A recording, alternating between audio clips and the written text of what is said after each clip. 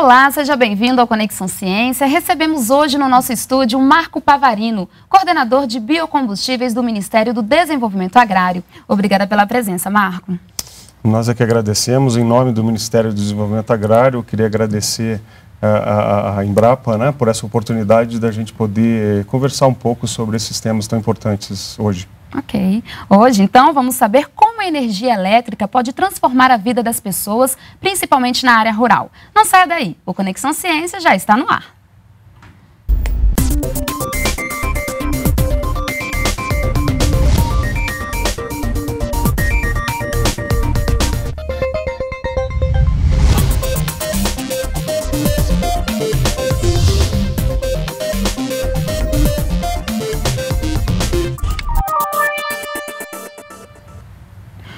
Aumento populacional, a estimativa é de que até 2020 o consumo de energia elétrica no Brasil deve atingir 730 mil gigawatts hora, 58% a mais que o registrado em 2013. Na zona rural, esse consumo também está aumentando. Nos últimos anos, cerca de 15 milhões de pessoas que vivem no campo foram beneficiadas com energia elétrica. Marco, então qual é hoje a situação né, é, do fornecimento de energia elétrica na área rural? Muito bem. Uh, nós podemos dizer que hoje a situação é muito melhor, por exemplo, do que, como você citou, do que 10 anos atrás. O programa Luz para Todos, especialmente no meio rural, uh, permitiu um, um, que várias famílias, uh, especialmente agricultores familiares também, fossem beneficiados com energia elétrica na, nas suas residências. Né? Uhum. Né? Mas ainda é um desafio muito grande que nós precisamos vencer. Para a gente ter uma ideia, os dados que nós temos do meio rural são dados do censo agropecuário, que são dados que são tabulados a cada 10 anos. Né? Então, o último foi de 2006. É, são dados uh, um pouco defasados, mas que são os dados oficiais que nós temos. Ali, para a gente ter uma ideia, é, se a gente pegar um universo aproximadamente de 3 milhões de agricultores familiares né, que dispõem de energia elétrica né, na, na, na, na, sua, na sua, nos seus estabelecimentos, uhum. uh, aproximadamente 2 milhões e 800 mil eh, estabelecimentos são de energia elétrica comprada. Né? Uma parte também é obtida, é, obtém a energia elétrica por sessão, mas uh, o mais, dado mais importante, mais uh, desafiador, é que, segundo o censo agropecuário, e a gente tem que entender que esses dados a gente precisa atualizar um pouco, porque o Luz para Todos já modificou eles, uhum. uh, mas é que em torno de 1 milhão e 400 mil estabelecimentos rurais não tinham acesso à energia. Né? Uh, supondo que o Luz para Todos tenha atuado de forma expressiva né, nesses estabelecimentos, né, o, o, dado que nós temos hoje no próprio programa Luz para Todos é que 228 mil estabelecimentos rurais no país não dispõem ainda de energia elétrica. Né? Ah, e alguns outros dispõem de energia elétrica, mas de uma qualidade que ainda precisa ser melhorada. Então esse é um pouco o quadro que o MDA trabalha né, em relação ao contexto que a gente está uh, desafiador no tema de fornecimento de energia elétrica para o meio rural. Uhum. Hoje a maior parte da produção de energia elétrica no Brasil é por meio das hidrelétricas, né? inclusive também na área rural. Uhum. É, como é, é, esse sistema elétrico hoje, ele suporta, ele consegue chegar a essas áreas mais remotas do Brasil? Em parte, sim. Né? A gente tem que entender também que boa parte do suprimento de energia elétrica no meio rural depende do que a gente chama dos famosos linhões. Né? Nós temos as usinas hidrelétricas estabelecidas, mas para levar a energia elétrica até determinado uh, ponto, a gente precisa de ter as linhas de transmissão. Sim. Ah, isso é um desafio. Né? Boa parte das uh, companhias elétricas estaduais, que é quem efetivamente opera o próprio programa Luz para Todos, terão dificuldades de estabelecer linhões por questões financeiras. Né? Então, uma parte da, da, da, da, energia elétrica que é da demanda dos agricultores no meio rural é atendido sim por essa, é, por essa geração hidrelétrica. Só que outra parte não. Né? Então, tem comunidades isoladas, onde não há previsão ainda de, de, de, de, linhas de transmissão a serem estabelecidas. Por incrível que pareça, tem comunidades rurais onde o linhão passa por cima das suas das propriedades, mas que essas, por motivos econômicos, por exemplo, de se estabelecer uma subestação né, uhum. né, de, de, energia elétrica, não tem ainda energia disponível na sua própria residência. Né? Então, uma parte é suprida por essa, por, por essa geração hidrelétrica e outra parte não é e não será especialmente na Amazônia, algumas comunidades isoladas, não será ainda nos próximos 10 anos. Hum, como solucionar esse problema, então? Né? Existem outras opções, então, de produção de energia que não por meio da, da, das hidrelétricas para chegar até essas comunidades? Com certeza, nós temos várias opções né? e hoje isso é uma realidade cada vez mais próxima, tanto na área urbana como na área rural. Por exemplo, nós temos a possibilidade de utilização, de geração de energia a partir uh, da luz solar. Né? A geração através de painéis fotovoltaicos é hoje uma realidade, está sendo cada vez mais difundido. Questões de preço em relação né, à, sua implantação estão sendo equacionados. Há 10 anos atrás, nós tínhamos duas, três vezes mais o custo dessa energia. Uhum. Né? Hoje já é mais acessível nós temos a possibilidade, e é um, um, são dados interessantes, assim, se nós pegarmos um, o mapa, o Atlas Solarimétrico do Brasil, nós vamos ver que a parte que nós somos menos beneficiados em relação à luz solar e radiação solar é, às vezes, o máximo que se tem em alguns países da Europa, que estão muito à frente de nós, inclusive na, no aproveitamento de energia solar. Uhum. Né? Então, nós temos um potencial enorme especialmente nas áreas onde a gente tem agricultores familiares, é coincidente a, a, a incidência solar, por exemplo, para a utilização dessa fonte geradora de energia. Também temos a, a, a, possibilidade de geração através dos ventos, energia eólica, né, que é também cada vez uma realidade, especialmente no Nordeste, onde a gente tem o maior potencial de geração de energia a partir dos ventos, um, uma parte também ali no Rio Grande do Sul, especialmente no sul do Rio Grande do Sul, mas, de novo, o mapa de ventos do, do país coincide com boa parte de onde os agricultores familiares estão estabelecidos. E, por fim, a, a, a bio, questão da biomassa, que também é uma possibilidade real. Hoje a gente vê várias propriedades da, da agricultura familiar que já se utilizam dessa tecnologia para gerar a sua energia e se tornar ou autossuficiente uhum. naquilo, que ele, naquilo que ele demanda de energia, ou ele ter acesso quando não teria através de outras fontes. O que, é que seria a biomassa? Bom, a biomassa, é, se a gente for pegar no, no, numa exemplificação mais, sendo mais simples né, uhum. na, na, na, na, definição, é tudo aquilo que tem, nós podemos ter de, por exemplo, de vegetais e também de partes, inclusive, de animais, né, para que a gente consiga gerar uh, uh, através de um processo, especialmente ou de biodigestão ou de queima mesmo, né, uhum. de, desse, desse, desse material, onde a gente consegue gerar algum tipo de energia. Pode ser energia térmica e pode ser energia também elétrica a partir da geração, por exemplo, de calor, onde a gente pode mover um motor ou então uma turbina. Né? Uhum. Então, biomassa, a rigor, a rigor, é tudo que a gente pode aproveitar que tenha de matéria orgânica e sofre um processo é, ou de biodigestão ou de queima né, na, no, especialmente no meio rural. Marco, e que tipo de impacto, né? Qual o impacto que a eletricidade tem na vida dessas pessoas, né? É, quais são as transformações dessas comunidades com a chegada da luz? É, a gente pode dizer que é uma transformação total. Existe ainda uma visão muito lúdica, né, daquele, daqueles espaços rurais onde ah, tudo é luz de velas, onde é tudo muito bucólico. Mas basta a gente pensar hoje o que significa na nossa vida nós ficarmos meia hora sem dispor de energia elétrica. Né? É, o, o, transtorno que a gente tem nos, nos grandes, para ficar nos grandes centros né, urbanos, mas isso também é, significa, dispor de energia elétrica significa melhoria de qualidade de vida uhum. né, atualmente. É, especialmente nas comunidades rurais, onde se depende muito da, da, da produção do sustento dos seus próprios alimentos no, localmente. Né? Então, o que significa dispor de energia elétrica, por exemplo, para se debulhar determinados tipos de grãos, né? para resfriar o leite, que é onde você consegue guardar uh, por muito mais tempo né? Determinadas matérias-primas. O que significa ter acesso à telefonia rural?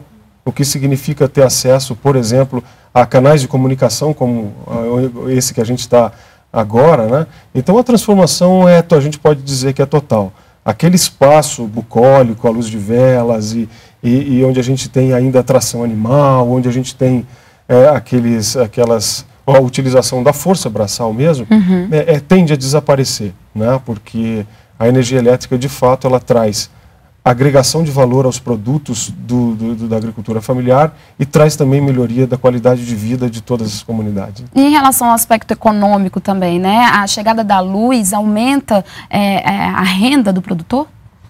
Com certeza, aumenta a renda, até porque pode aumentar a produção, pode melhorar a produção, ele pode dispor de determinados processos produtivos que ele não dispunha antes, uhum. né? Ah, por exemplo, o processo de ordenha mecânica, né? o processo de, de resfriamento de leite, o processo de produção, por exemplo, de geleias, de compotas, um conjunto de, de, de, de atividades onde ele, ele pode é, e ele já desenvolve, ele pode ampliar essa produção, ele pode melhorar essa produção, ele pode agregar valor aos produtos que ele, que ele, que ele já desenvolve.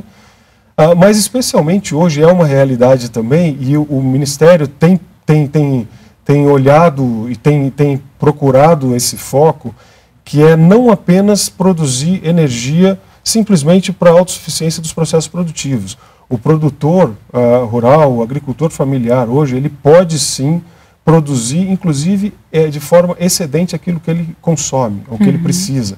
E ele pode, inclusive, ser um produtor de energia. Né? Por que não a gente pensar, se a gente pensar no tanto de radiação solar que chega em nosso país a cada dia, é uma enormidade. E no meio rural, mais ainda. É, e, e, a gente tem uma, uma, uma rede de distribuição de energia muito, muito consistente, muito capilarizada no país. Né? Então, essa possibilidade do agricultor familiar, do, das comunidades rurais, conseguirem produzir também energia para venda, é uma realidade que nós entendemos que vai ser cada vez mais viável. É uma inclusão produtiva, então. É uma né? inclusão produtiva, com certeza. Gera renda, hum. trabalho e melhoria de qualidade de vida também. Ok, Marco, então daqui a pouco nós continuamos a nossa conversa. Ok. Vamos para um rápido intervalo e voltamos já.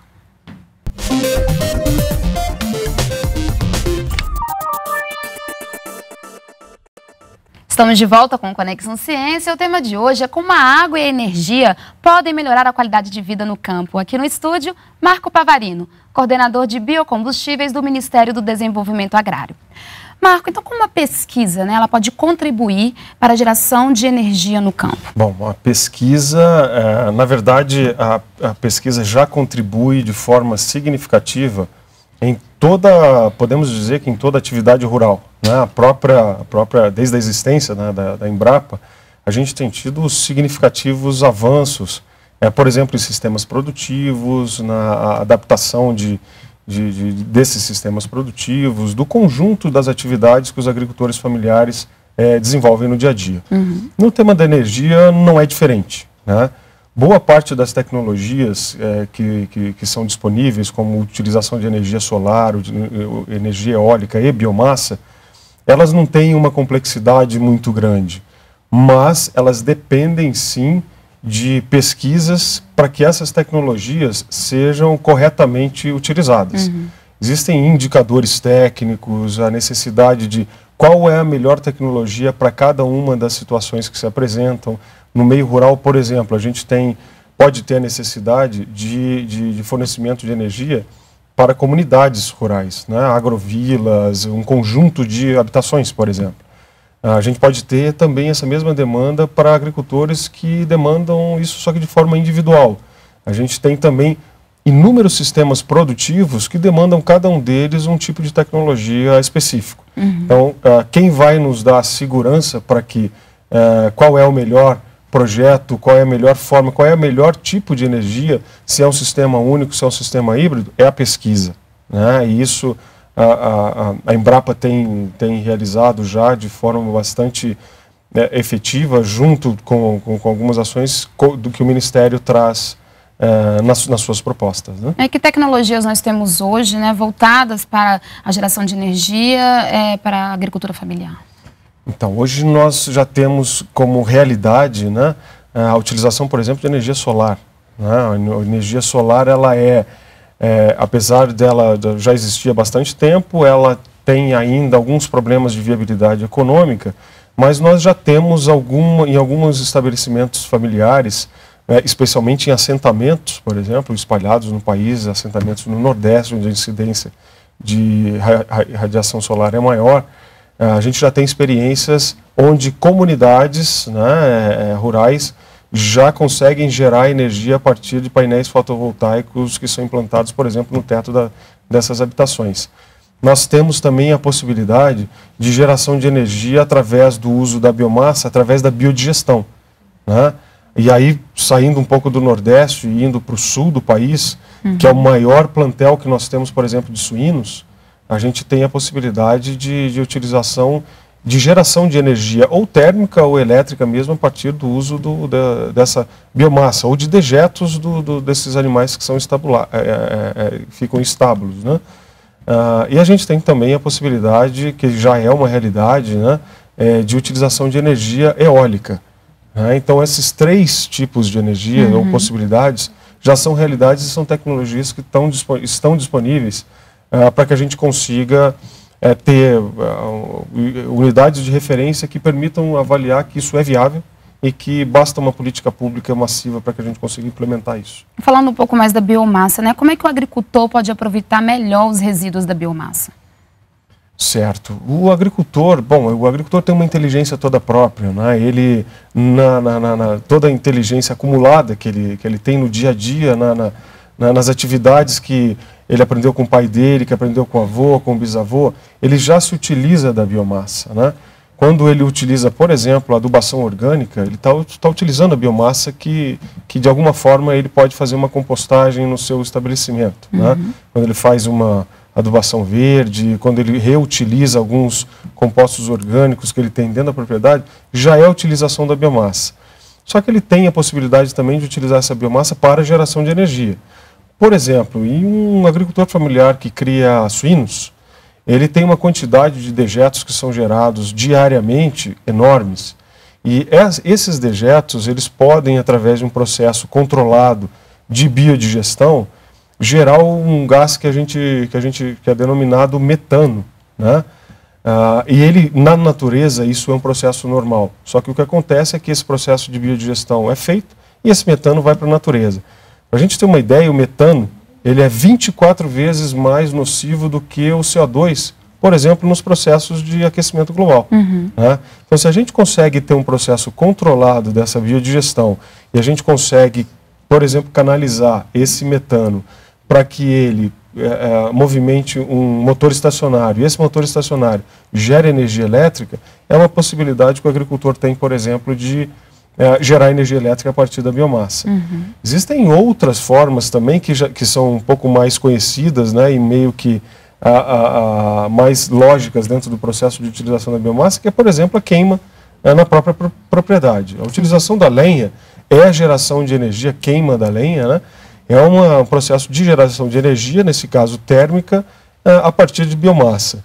Claro que a gente tem que ter um manejo sustentável para que isso seja um processo também controlado e que a gente possa, de, de, de forma mais expressiva, utilizá-lo como uso da biomassa no processo de geração de energia. Uhum. Uh, tem vários outros processos que, que, de biomassa, mas esses dois acho que são os mais significativos é, dentro de uma propriedade. O bagaço da cana também é um outro exemplo, né? Com certeza. Uhum. O bagaço da cana, ele é, é, tem sido cada vez mais utilizado também né, no processo de geração de energia, seja na alimentação direta, por exemplo, na queima né, do bagaço da cana, para ou gerar energia térmica na queima de caldeiras, uhum. é, uma queima direta, ou então na própria fabricação de briquetes, né, que é o que? A gente prensar esse bagaço de cana para que facilita o transporte, otimiza o transporte, mas que também é, pode ser utilizado na queima. Essa queima pode ser, como eu disse, para geração de energia térmica ou também de energia elétrica, através da queima, por exemplo, a produção de vapor. Esse vapor movimenta uma turbina, essa turbina gera energia elétrica, uhum. né, que também é um exemplo de possibilidade de utilização da biomassa. Esse processo né, de transformação da biomassa em energia é caro? É um processo, é, é, nós temos que relativizar alguns, alguns aspectos, por exemplo, os aspectos econômicos, número é número, número Sim. costuma não mentir, né? mas quando a gente fala no, no, no, tema do bagaço da cana, ou no próprio resíduo da colheita, inclusive da cana, né? nós estamos falando de resíduos. Esses resíduos, de alguma forma, se ele for jogado fora, sem ter uma utilização mais racional, eu conseguir utilizar ele, por exemplo, para gerar energia elétrica, esse conceito do que se ele é muito caro, ele fica relativizado. Né? Então, Uh, alguns processos eles têm a necessidade de investimentos maiores do que outros. O caso do bagaço da cana não é um exemplo que, que, que, que demande muito investimento é, financeiro para que ele seja utilizado. Está ali, é só a gente uh, utilizar ele da forma mais adequada, por exemplo, na queima, no aquecimento de, de, de, de determinados processos. Uhum. Mas a gente tem que pensar, bom, era, são resíduos. E se esse resíduo eu conseguir aproveitar de forma mais eficiente, será tanto melhor e menos caro dentro do processo total. Marco, e na prática, né, que ações que estão sendo desenvolvidas em parceria entre o Ministério e a Embrapa né, para essa geração de energia na, na, zona rural? Muito bem, nós temos uma sintonia total com a Embrapa, né, porque desde há alguns anos que nós, que nós é, é, é trabalhamos junto com os pesquisadores da Embrapa no sentido de otimizar, de identificar primeiro quais os sistemas, os melhores sistemas para geração de energias elétricas de fontes é, é, ou elétrica ou térmica de fontes renováveis uh, e neste processo entender quais os melhores projetos, quais os melhores arranjos, qual é o melhor dimensionamento disso tudo. Né? Um exemplo claro que nós temos é um trabalho que nós temos com a Embrapa Pelotas, né, o clima temperado, onde a gente tem ah, já estamos indo o terceiro ano de, em que nós apoiamos com investimentos financeiros o estabelecimento de unidades de referência dentro de estabelecimentos da agricultura familiar, onde no sistema híbrido de energia solar e eólica a gente consiga trazer a autossuficiência dos agricultores familiares, é, é, no caso desse, de, de solar e eólica. Temos também, por exemplo, algumas outras iniciativas que nós estamos buscando com a Embrapa de implantar unidades de referência, por exemplo, de uso da biomassa. Por exemplo, a geração de, bi de biogás, né? onde esse biogás é, vai poder a, a, trazer também economia, autossuficiência e mais sustentabilidade nas, na, nas propriedades rurais, especialmente da agricultura familiar. Então, nossa interação com a Embrapa é total e a gente espera que só aumente. E em tempos né, de crise hídrica, Marco, é, em que o tema água está constantemente em foco, né? como garantir a produção de alimento e energia? Pois é, são todos recursos renováveis. Isso é importante que a gente. Tudo que, que a gente falou aqui são recursos renováveis, é verdade. Tanto a hidrelétrica né, como a solar, eólica e biomassa. Mas é, é verdade também que a gente está assistindo aí, isso não é novidade já de há muitos anos que vem se tratando do tema do aquecimento global, das mudanças climáticas, né? onde a gente tem eventos extremos cada vez mais significativos. E isso também impacta, por exemplo, os cursos d'água. Né? A gente viu aí, em anos recentes, grandes capitais do país com problemas de abastecimento hídrico. Né? Uhum. Né? Isso também, se a gente for pensar que as hidrelétricas são movimentadas a partir de massas de água que são represadas, também pode ser um problema que a gente venha enfrentar, por exemplo, com o racionamento né, de energia elétrica, não só de água, como de energia elétrica. Então, ah, saber dosar a utilização da água, que não é só para energia elétrica, na agricultura é um elemento fundamental, não preciso, é, é, não preciso dizer o quanto que é importante a utilização da água, por exemplo, a produção de alimentos, Sim. Né, segurança alimentar, as irrigações né, das plantações, para o gado, para o conjunto das atividades do processamento dos alimentos, as agroindústrias, né? a água tem uma utilização uh, uh, fundamental e também para a energia. Né? Então, quanto mais nós conseguirmos balancear essa utilização dos recursos hídricos para a agricultura como um todo, para a geração de energia elétrica e balancear isso com as outras fontes possíveis de energias renováveis, por exemplo, a energia solar, a energia eólica e a biomassa, mais, entre aspas, tranquilo a gente pode ficar em relação a futuras crises que a gente vem enfrentar. E qual a importância né, da agricultura familiar nesse contexto todo, né, de produção de alimentos, produção de energia, crise hídrica? Só para a gente ter um dado assim da import dessa importância, nós estamos falando em aproximadamente 5 milhões de estabelecimentos da agricultura familiar no país. Né? São 5 milhões de estabelecimentos que estão espalhados pelo Brasil todo, mais concentrados em determinadas regiões e outras não, que estão produzindo alimento, que estão colocando alimento na mesa do, do brasileiro, né, que, que, que tem todo um sistema produtivo uh, que cada vez mais o Ministério tem trabalhado uh, no lema de produção de alimentos saudáveis. Né? E a produção de alimentos saudáveis passa também por um tema da sustentabilidade dentro da propriedade. É, 5 milhões de estabelecimentos que têm disponibilidade, por exemplo, de luz solar praticamente o ano inteiro, que em alguns, algumas regiões a, a disponibilidade de, de, de, de ventos, de energia eólica, é significativo. E que também, na essência, produz biomassa, a gente pode estar falando de 5 milhões de estabelecimentos que podem estar produzindo energia elétrica para o seu alto consumo, vendendo uma parte dessa energia elétrica, em especial disponibilizando mais energia das hidrelétricas, por exemplo, para as indústrias, para as cidades e para, e os outros usos. Ok, Marco. Então, muito obrigada pela entrevista e até uma próxima oportunidade. Muito obrigado. Nós é que agradecemos novamente em nome do Ministério do Desenvolvimento Agrário. Estamos à disposição. Ok, obrigada. E o Conexão Ciência fica por aqui. Confira os dias e horários das reprises na página da EBC ou da Embrapa na internet. O programa também está disponível no canal da NBR no YouTube. Obrigada pela companhia e até a próxima semana.